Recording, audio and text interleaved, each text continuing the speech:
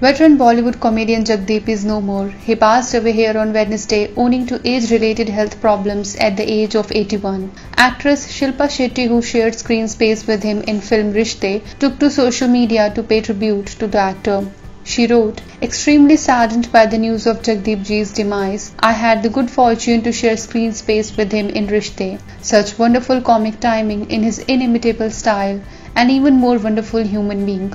Heartfelt condolences to Meezan Jafri, Javed Jafri, Naved Jafri, and the entire family, sending love, prayers, and strength to cope up with this difficult loss. The late actor's son Javed Jafri and Naved Jafri have also made their mark in the entertainment industries. Jagdeep is best known for his role of Soorma Bhopali in Ramesh Sippy's blockbuster Sholay. Subscribe to our channel. Just click on the bell icon for all the latest updates.